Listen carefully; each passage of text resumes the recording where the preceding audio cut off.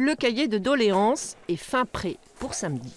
Dès 9h le matin, monsieur le maire accueillera en personne ses concitoyens pour recueillir leurs propositions. Les habitants devraient plus euh, évoquer des doléances nationales que locales, mais ce peut être euh, les deux, et, ce sera évidemment plein d'enseignements, euh, soit pour la commune, soit, soit au niveau national. Une idée lancée par le président de l'Association des petites communes de moins de 3500 habitants.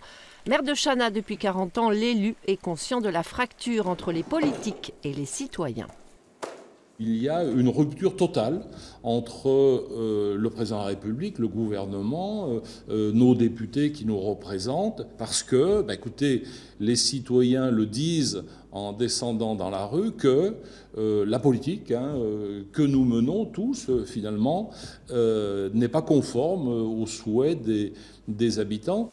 Et justement, qu'en pensent les habitants de son village? C'est toujours bien et toujours des bonnes initiatives que de recueillir l'avis de la population. Maintenant, euh, j'ai peur que ce soit un peu euh, fouillis euh, s'il n'y a pas une thématique. On risque de trouver énormément de choses, de tout et de rien, et que ça finisse un, gros, un, gros mélange de tout. Quoi. Et pour faire le tri dans un gros mélange, ça, me semble un petit peu compliqué. Je voudrais détailler un peu la, question, mais d'une façon générale, je pense qu'effectivement, les, les petites communes rurales sont de plus en plus euh, dépossédées de leurs prérogatives. Ce qui fait qu'aujourd'hui, euh, c'est pas pour rien qu'un maire sur deux, euh, je crois, a décidé de ne pas se représenter aux prochaines élections. Donc voilà. Hein. Le cahier de doléances, une mine d'enseignement pour le gouvernement et l'occasion pour les communes rurales de faire entendre leur voix.